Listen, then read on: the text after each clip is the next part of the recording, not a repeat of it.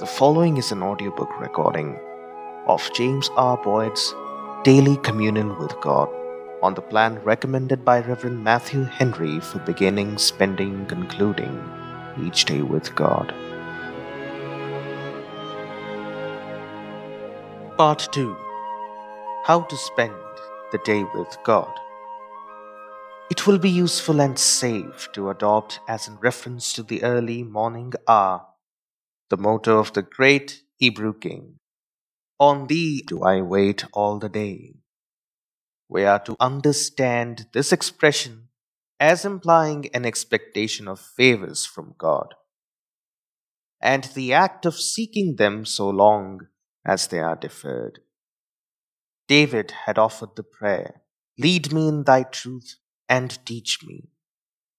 Being in suspense as to the course of action he should pursue, he says to God, On thee I will wait all the day.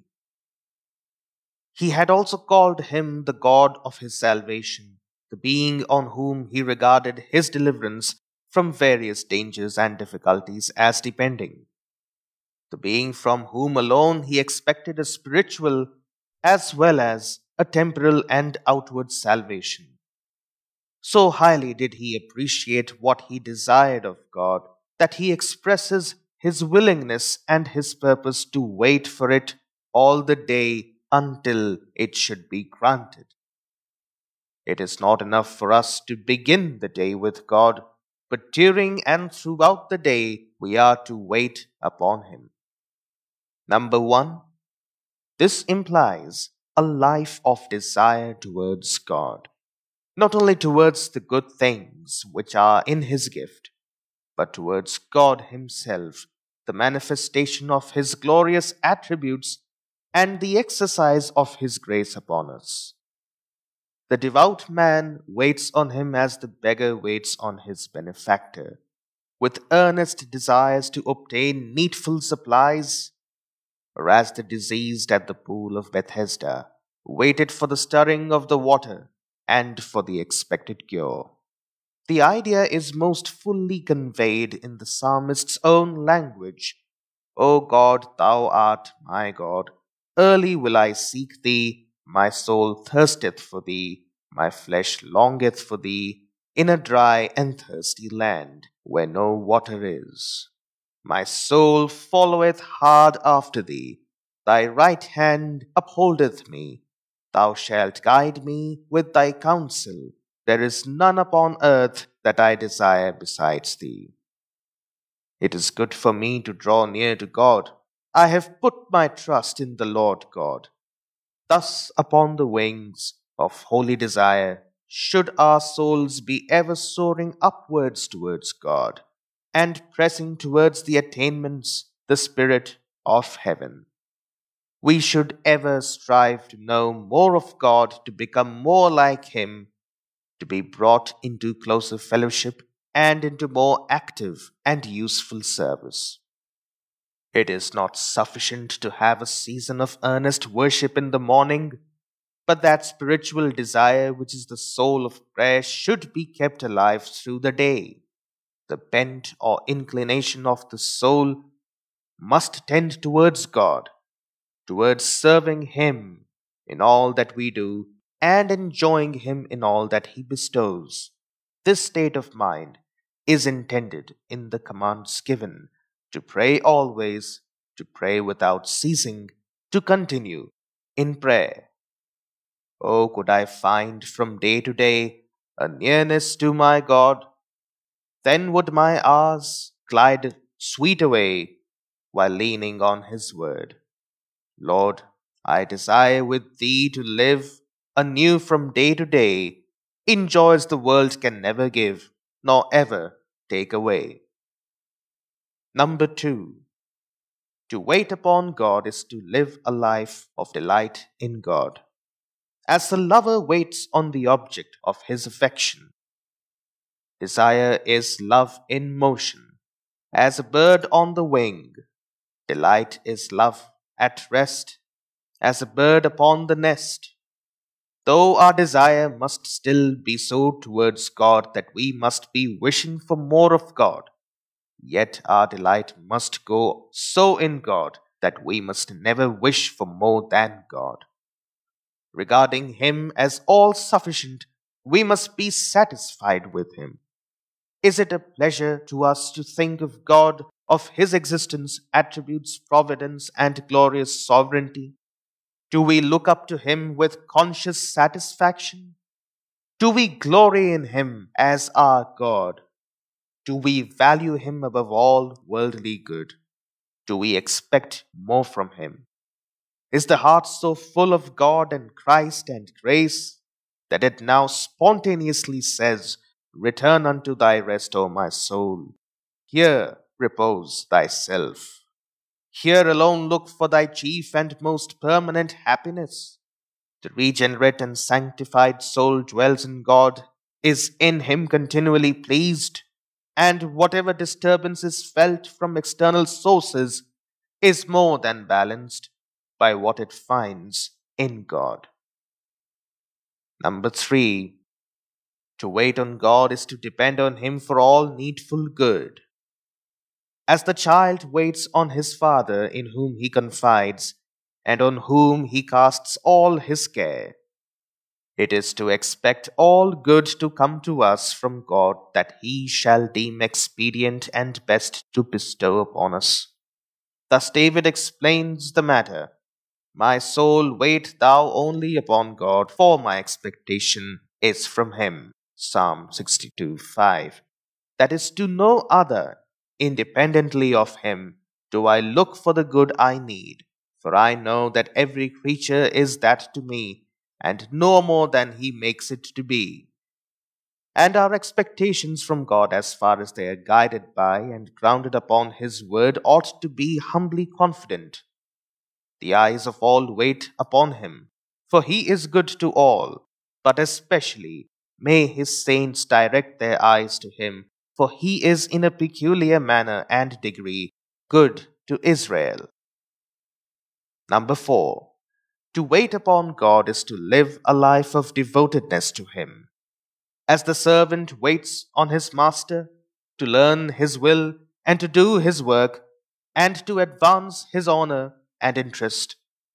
To wait on God is to yield ourselves cheerfully to His disposal and guidance, and to acquiesce in His arrangements respecting us.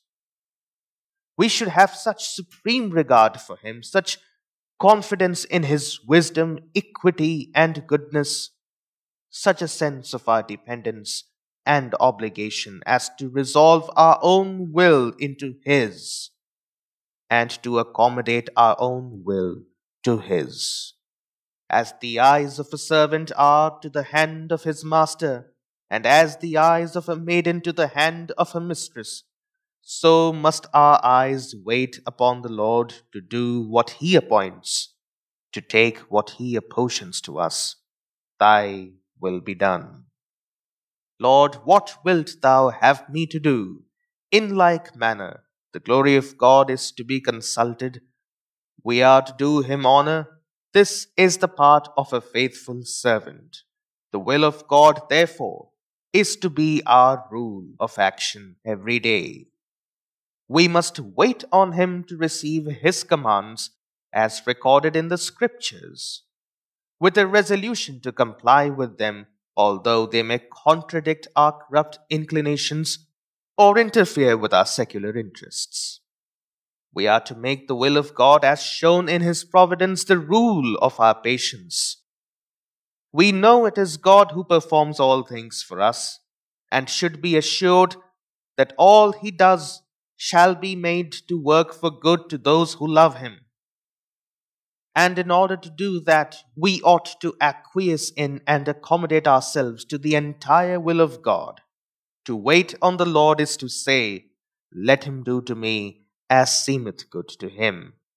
Because we know that nothing seemeth good to him that is not really good. It is to say, Not as I will, but as thou wilt. It is to bring our mind into accordance with our condition so as to be calm and serene, whatever may occur that is fitted to render us uneasy I was dumb I opened not my mouth, not because it was of no use to complain, but because thou didst it. And therefore I had no reason to complain. And this sentiment, this state of mind, will reconcile us to every affliction, to one as well as to another, because whatever it may be, it is the will of God, and that is ever determined by supreme wisdom and goodness. Whatever disposition God shall make of us or of our affairs, we may be assured that as He does us no wrong, so He means no injury to us. Thy way, not mine, O Lord, however dark it be, lead me by thine own faithful hand, choose out the path for me. Smooth let it be or rough, it will be still the best. Winding or straight it matters not, it leads me to thy rest. I dare not choose my lot, I would not if I might. Choose thou for me, my gracious God, so shall I walk aright. The kingdom that I seek is thine, so let the way that leads to it be truly thine, else I must surely stray. The duty of waiting upon God might be illustrated by referring to various other expressions of Holy Scripture that describe the homage which we owe to God and the communion which it is our interest to maintain with Him. It is to set God always before us, Psalm 16:8, to look upon Him as ever near to us, as always observing us and noticing what we do as one to whom we are accountable. It is to acknowledge Him in all our ways, Proverbs 3 6, to look to Him in all our undertakings for direction and success, to commit our way to Him, saying, If thy presence go not up with us, carry us not up hence.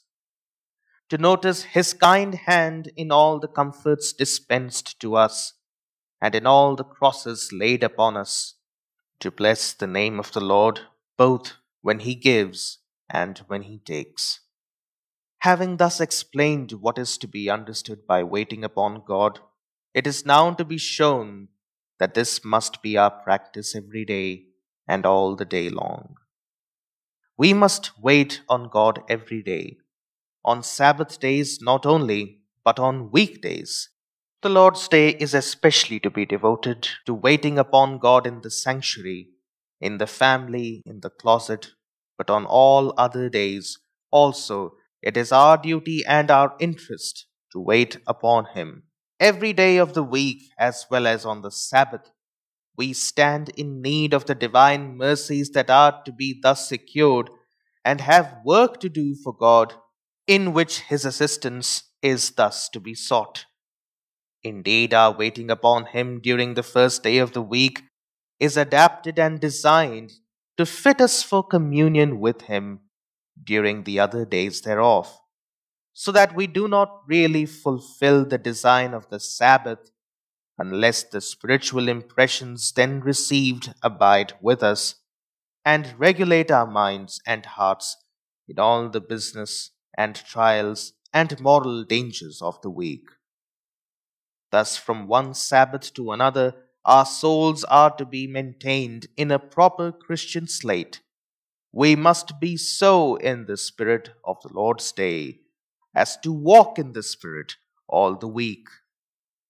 Even when engaged in the details of some worldly business, our hearts may be waiting upon God by cherishing an habitual regard to Him, to His providence as our guide, and to His glory as our end, and thus we may abide with him in our ordinary worldly pursuits and vocation, even those who rise up early and sit up late and eat the bread of carefulness in their worldly business owe it to their interest as well as piety to wait on God, because otherwise their labor may be vain. Psalm 127, verses 1 and 2. Vain were all our toil and labor, did not God that labor bless? Vain without his grace and favor, every talent we possess. Even on those days when ordinary business is laid aside and we give ourselves to agreeable recreation, this business of waiting on God must not be laid aside, for we must ever hold the first place in our regard, and we require His continual aid to guard us against the temptations which may cluster in the paths of social or of personal enjoyment. Both in days of prosperity and adversity alike, is it our duty and our interest to wait upon our God. Let our wealth be ever so increased. We are not thereby rendered independent of Him. We are under obligations to make a proper use of it. As His stewards, we are to ask His blessing on what we have and to depend on His gracious providence for the continued possession and comfort of it. It is also requisite that we supplicate wisdom and grace to use our wealth or our worldly influence from all sources for the high and holy purposes which our Maker had in view when He led us into our present possessions. Aware also of the precarious tenure by which we hold worldly goods of any sort, it behooves us to wait upon our God for better things than this world affords even to the most favored. And when the world frowns upon us, and disappointments arise, and afflictions assail our comfort and our peace, we must not thereby be tempted to withdraw ourselves from the good habit of waiting upon God. One grand design, we may suppose, of afflictions is to bring us more frequently and closely to the throne of grace to teach us how to pray with a more childlike and humble spirit, and to make the Word of God more precious in our estimation and more beneficial to our souls. Then we are taught to approach our God with greater satisfaction than ever as the God of hope, of consolation, and of joy. And we are led to appreciate our Savior as the great high priest who is touched with our infirmities and regards our troubles and our griefs with God-like sympathy. More molded to thy will, Lord, let thy servant be higher and higher still, liker and liker thee. Leave not that is unmeet of all that is mine own. Strip me and so complete my training for thy throne. In the days of youth, and in the days of old age alike, it is fitting and wise to wait upon God. The scriptures set before us the beautiful picture of the child Samuel ministering to the Lord, and they describe to us that memorable scene near Jerusalem when our Saviour was delighted with the joyous hosannas of the children during his triumphal entrance into that devoted city. The more early in life we begin to wait upon God, the more honor we put upon Him, and the greater benefit we procure to ourselves. And when old age approaches, we are concerned to continue our waiting upon Him for support and comfort under its ever increasing infirmities, and for a more abundant entrance to be daily expected into His everlasting kingdom and glory. Those who have done the will of God and are no longer capable of laborious exertion in His service have need of a graceful patience in waiting for the time of inheriting the promises. And the nearer they approach to the happiness they were waiting for, the dearer to them should be that gracious and glorious God on whom they wait, and with whom shortly they hope to dwell in heaven and that forever. Having shown how and why we should wait on our God every day, the next point is to show that we are to wait upon Him all the day. From early morning to latest night, we must continue waiting upon God. Whatever changes of employment there may be in the course of the day, it must be the invariable attitude of our souls to attend upon Him and to regard His will and His glory in whatever we undertake and pursue. Number one, we must cast our daily cares upon Him, believing that His providence extends to all our affairs and to all events in which we shall be concerned, and to all the circumstances of them, however minute and seemingly accidental.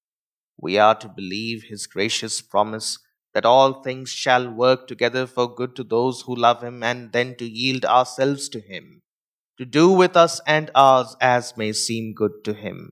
And having done so, then to rest satisfied and resolve to abide calmly the result. We are to bring our cares to God by prayer in the morning, to spread them before Him, and then to make it appear all the day by the composure and cheerfulness of our minds that we did leave them with Him, as Hannah did, who, when she had prayed, went away and did eat and was no more sad. 1 Samuel chapter 1 verse 18. Number 2. We must manage our daily business for him with an eye to his providence that placed us in the situation and employment to which we are devoted, and with an eye to his precept, making diligence our duty, with an eye further to his blessing as that which is needed to make our occupation comfortable and productive, and above all, with an eye to His glory as our highest and noblest end. This dignifies our commonest actions and brings them into a sacred relation to God and makes them more pleasant to ourselves. If Gaius, on parting with certain friends, accompanies them a short way upon their journey, it is but an instance of common civility. But if he manifests this respect to them because they belong to Christ and for his sake, and further, that he may have religious intercourse with them for a longer period, it then becomes an act of Christian virtue. The Apostle Paul has given us this general rule, applicable to every day and to every hour of the day. Whatsoever ye do in word or deed, do all in the name of the Lord Jesus. Colossians 3:17. And thus, through the mediator, we wait on our God and find acceptance with him. They who serve in households or in other capacities are instructed how to wait on the Lord in their common employments. See Ephesians 6 5 to 8 and Colossians 3 22 to 24. Number three, we must wait on God as our daily benefactor. Look to Him for our daily bread, for all the comforts and accommodations of our earthly state, and for His blessing to rest upon them, that our health, happiness, and usefulness may be subserved. No inducement to honesty and fidelity and moderation can be stronger than the habit of regarding God as the source of what we possess to whom we are strictly accountable as stewards for the right use of all that we have. It is not once a week that we are to wait upon Him for our temporal blessings, as people in some places go to the market to buy provisions for the whole week. But we must wait upon Him continually, as dependent on Him for the blessings which are conveyed to us every successive hour.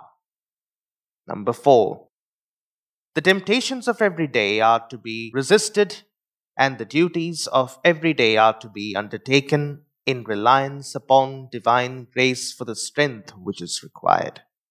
Our Master has taught us to pray not only for our daily bread, but for deliverance daily from temptation. We engage in no business, we partake of no enjoyments that have not snares attending them. Not only in the morning must we put ourselves under the protection of God's grace, but through all the day we must keep ourselves under the shelter of that grace which will not suffer us to be tempted above our ability to resist and to overcome. Only in the Lord and in the power of His might can we be sufficiently strong. Again, we have various duties to perform opportunities will occur or should be sought for speaking good words and doing good works, and we must look up to God for that light and fire, that wisdom and zeal which are needful for the best improvement of such opportunities. And to the same source must we look in order to be fortified against the use of words and the doing of works that are bad and injurious. Number five, daily afflictions must be borne with a pious submission to the divine will. Something may happen each day to grieve us, something in our social or domestic intercourse, something in our occupations. Events relating to ourselves or to our families or friends may occasion pain and sorrow. We may be called to endure the visitations of bodily disease and suffering or severe disappointment in some cherished object or pursuit. But Christ requires of all his disciples to take up their cross daily. Matthew 16:24. We must take it up when God lays it in our way and not go a step out of the path of duty either to meet it or to avoid it. It is not enough to bear the cross. We must acquiesce in the will of God, laying it upon us. We must see that every affliction is allotted to us by our Heavenly Father, and for the purpose of salutary discipline and instruction. And therefore we must wait on Him to learn for what fault or omission of duty he is chastening us, that we may fulfill the end for which the affliction has been sent, and so be made partakers of the holiness he would thereby produce in us. O thou whose gently chastening hand in mercy deals the blow, make but thy servant understand wherefore thou layest me low. I ask thee not the rod to spare, while thus thy love I see but oh, let every suffering bear some message, Lord, from thee. We must wait on God for support under the burdens He imposes and not seek to extricate ourselves by any sinful methods, but patiently wait until God shall see fit to remove them by the use on our part of proper efforts.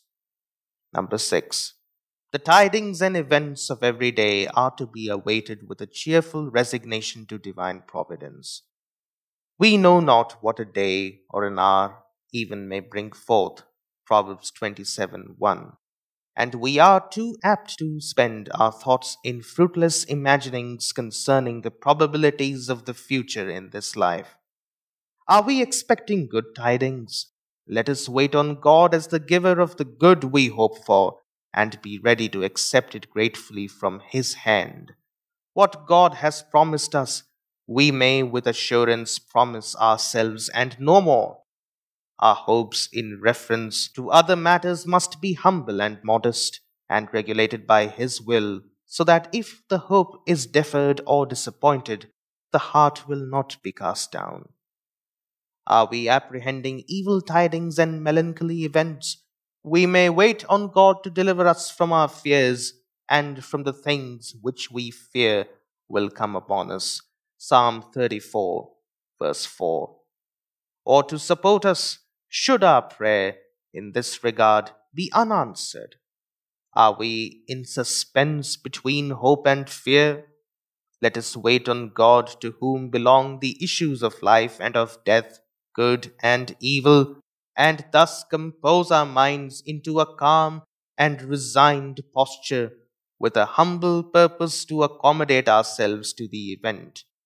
Let us humbly hope for the best, but prepare for the worst, and then accept what God may be pleased to send. Be tranquil, O my soul, be quiet every fear. Thy Father hath supreme control, and he is ever near. Never of thy lot complain, whatever may befall. Sickness or sorrow, care or pain, tis well appointed all. A father's chastening hand is leading thee along. Nor distant is the promised land where swells the immortal song. O then, my soul, be still, await heaven's high decree. Seek but to do thy Father's will, it shall be well with thee. Communion with God in various situations. Number one, in the family. When we meet the members of the family in the morning, we are to wait upon God for the bestowment of His blessing upon them and to thank Him for the mercies experienced by them during the night and to implore the bestowment of what may be needful in the future. In all our conversation with our families, the provision we make for them, and the arrangements we adopt, we must wait upon God as the God of the families of Israel, and have our eyes lifted to Christ as the one in whom alone the families of the earth are blessed. Number two, in the education of a family. We need to ask counsel and assistance from God and a divine blessing upon our efforts and upon the corresponding efforts of our children, not only in those matters which pertain to godliness and salvation, but even in those which belong to the present life. The members of the family also that are in childhood or youth should be taught to wait on God in all their daily studies and efforts at improvement, that they may fit themselves for usefulness in life become ornaments to their families, comforts to their parents, benefactors to their country and to the world. Number three, in our places of daily business, we are to wait on God for His presence and blessing. Our attendance on God in our several callings should be as constant as our attendance upon those callings.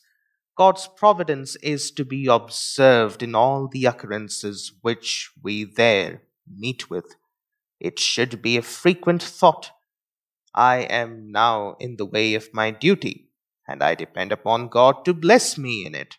When buying or selling, we are to remember that God's eye is upon us, observing whether we are just and honest in our dealings, and do no wrong to those we deal with in all business operations. It honors God to look to Him for that sagacity and prudence which lead to success, and for that honest profit which may be expected in the way of honest diligence. Number four, in our reading, we are to wait on God to guide us in our selection of books or periodicals and to aid us in turning them to a profitable account. The Holy Scriptures are, of course, to occupy a portion of each day's reading matter, both alone and with our families, and we need to wait upon God to assist us to read and meditate upon them and apply them, as to derive the largest benefit in the way of religious impression and impulse. Time is too precious, and our accountability to God for the proper use of it too solemn to permit us to waste it in frivolous, unprofitable, or demoralizing reading. When history is read, or even the daily papers, so far as they report events, we are to trace the hand of God's providence and devoutly study the plans and the attributes of God so far as daily events serve to illustrate them. Number five, at our tables. We are to recognize God's bountiful hand in spreading them with various articles of nourishing and agreeable food, so indispensable to comfort, health, and even life. We are to praise Him for the health and social happiness that pervade the little circle surrounding it. We are to restrain ourselves from all undue indulgence of appetite and are to partake of food with such moderation, prudence, and caution as a proper care for health and usefulness requires, remembering God's high command that whatever we eat or drink or whatsoever we do, we are to do all to the glory of God. Number six, in our social visits, made or received, we are to wait upon God with thanksgiving for valuable friends and for all their kind offices to us and for our opportunities to reciprocate such offices, also for comfortable dwellings with their various appointments adapted to us and to our friends. In social circles, we must so regulate our conversation that it shall be productive of good and not of harm to our friends and to ourselves. We need wisdom from God to render our conversation edifying and such as may bring honor to God and salvation to our fellow creatures. Remembering that an influence goes forth from our lips of great importance and for which we must give an account to God. It is painful and humiliating to think on how different a plan from this social visits and conversation are most generally conducted.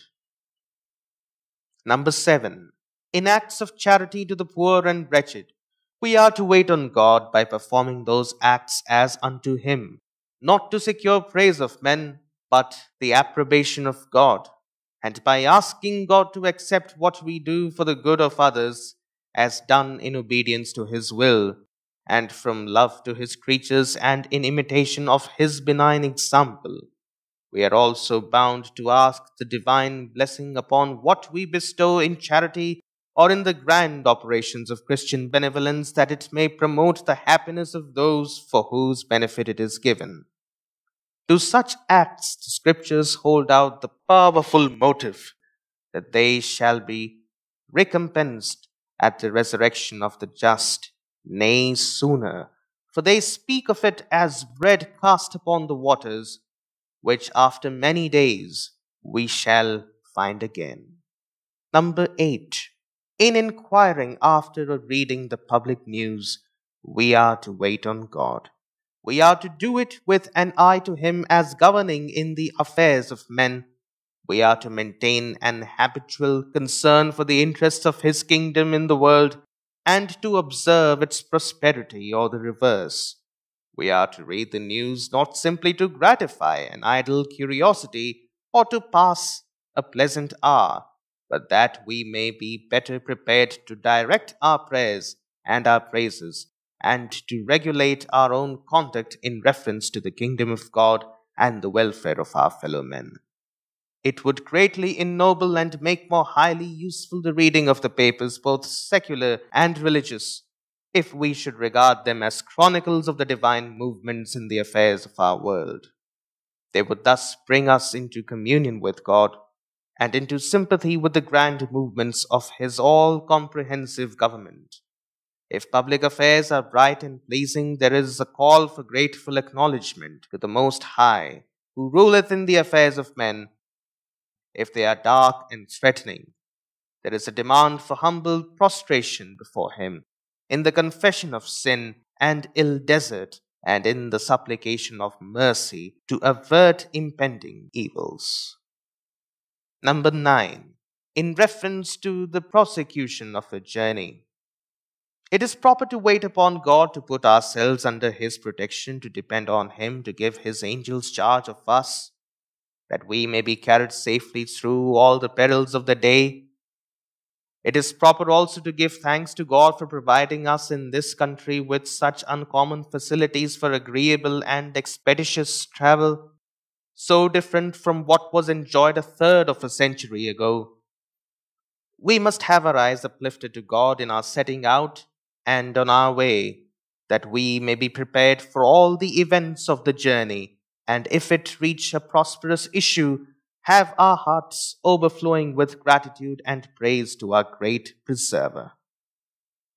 Number 10. In the hours of solitude, when communing with our own hearts, we must still be waiting upon God. When we are alone, we must at the same time not be alone, but we must seek to have the Father with us, and we must commune with Him. Even in solitude, we shall find temptations that are to be guarded against. The Savior himself was most strongly tempted by Satan to evil in a lonely wilderness. But in solitude, we have also the best opportunity for devout reflection and contemplation if we understand the method of improving such opportunity so that we may never be less alone than when alone. If, when we sit alone, withdrawn from business and conversation, we have but the art, or rather perhaps the heart, to fill up these vacant minutes with pious meditations upon God and divine things, we then gather up the fragments of time which remain, and so are we found waiting on God all the day. Such a life of communion with God is a heaven upon earth. It is doing the work of heaven and the will of God, as they do it who are in heaven. It is a foretaste of the everlasting blessedness of heaven and a preparation for it. Oh, talk to me of heaven I love, to hear about my home above. For there doth many a loved one dwell, in light and joy ineffable. Oh, tell me how they shine and sing, while every harp rings echoing, and every glad and tearless eye beams like the bright sun gloriously Tell me of that victorious palm each hand in glory beareth. Tell me of that celestial calm each face in glory weareth. O happy, happy country, where there entereth not a sin, and death who keeps its portals fair may never once come in. No grief can change their day to night. The darkness of that land is light. Sorrow and sighing God has sent far thence to endless banishment, and nevermore may one dark tear bedim the burning skies, for every one they shed while here in fearful agonies glitters a bright and dazzling gem in their immortal diadem. Some further directions for thus waiting on God all the day. Number one, observe how much may be discovered of God in created objects around us of his wisdom and power in their creation, and of his goodness in their serviceableness to us. Look upon the wonders and the comforts that surround you, and let them all lead you to him who is the fountain of being and the giver of all good. All our springs are in him, and from him are all our streams. It is said to have been a custom with the pious Jews of the olden time to give to God the glory of whatever delight they took in any creature. When they smelled a flower, they said, Blessed be he that gave to this flower its sweetness. When they took up bread, Blessed be he that appointed bread to strengthen man's heart. Thus may we taste that God is gracious in everything that ministers to life and comfort. Number two, consider that all created objects are nothing without God. The more we discern the emptiness of the world and the insufficiency of all its enjoyments to make us happy, the more closely we shall cleave to God and the more intimately we shall hold converse with Him, in order to find in Him that satisfaction which in vain we seek from the objects of sense. Number three, live by faith in the Lord Jesus Christ. We cannot, with any proper confidence, wait upon God, but in and through Jesus as our mediator, by whom alone God speaks to us and allows us to speak to Him.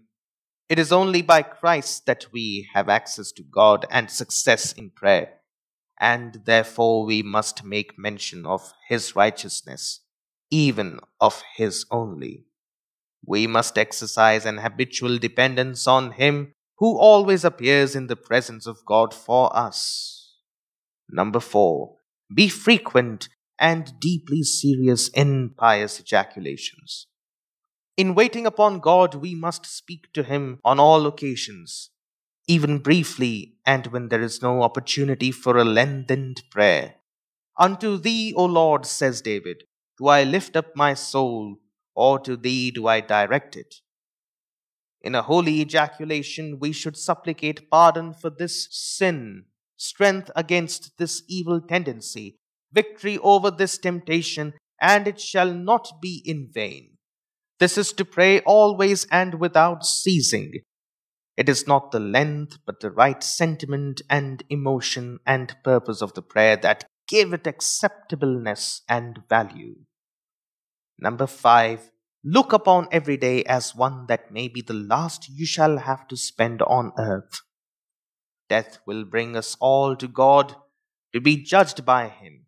It will bring all the saints to the fruition of Him, and the one we are hastening to and hope to be forever with, we are concerned to wait upon and to gain an acquaintance with.